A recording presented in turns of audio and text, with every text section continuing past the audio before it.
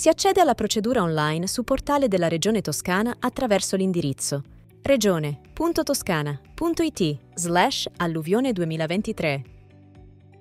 Cliccare sulla finestra in introduzione. Rendicontazione danni privati. L'autenticazione avviene tramite SPID, CIE e CNS. Cliccare sulla lente di ingrandimento per visualizzare le proprie domande presentate. Selezionare la singola domanda per la rendicontazione dei danni cliccando sull'icona più a sinistra. Inserire i dati della prima spesa sostenuta. Il nome del fornitore, il codice fiscale o partita IVA. Allegare l'eventuale preventivo di spesa. Allegare la fattura o ricevuta della spesa sostenuta. Inserire il numero della fattura o ricevuta. Inserire la data della fattura o ricevuta. Selezionare il tipo di fattura o ricevuta dal menu a tendina. Inserire l'importo imponibile netto. Inserire l'importo IVA. Inserire una breve descrizione della spesa sostenuta. Verificare che i campi siano corretti e cliccare su Salva bozza. Una volta inserita la spesa sostenuta, è necessario inserire il pagamento realizzato relativo alla spesa sostenuta. Selezionare il tipo di pagamento dal menu a tendina Inserire la data del pagamento, la data valuta e l'importo. Allegare l'estratto conto del pagamento, la ricevuta del pagamento e cliccare su Salva bozza. Sarà possibile inserire ulteriori pagamenti eseguiti relativi alla singola spesa sostenuta con le stesse modalità.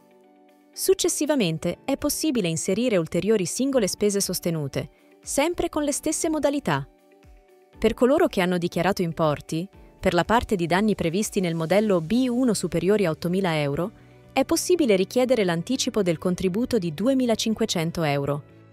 Leggere le condizioni di anticipo e spuntare la casella di accettazione della richiesta.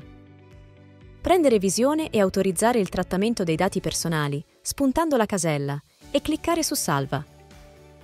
Cliccando su Elimina spesa e pagamenti ed Elimina pagamento sulla destra, è possibile cancellare tutta la spesa e i pagamenti, oppure il singolo pagamento inserito. In caso di delega fare clic su Delega al caricamento, all'inizio della pagina, e inserire il codice fiscale del beneficiario, numero protocollo e anno protocollo.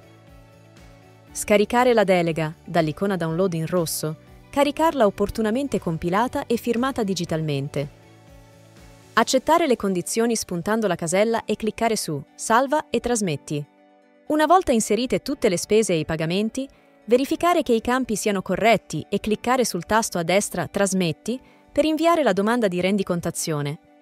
Confermare, cliccando su OK, la chiusura e trasmissione della rendicontazione delle spese sostenute. Informazioni e supporto su regione.toscana.it slash alluvione 2023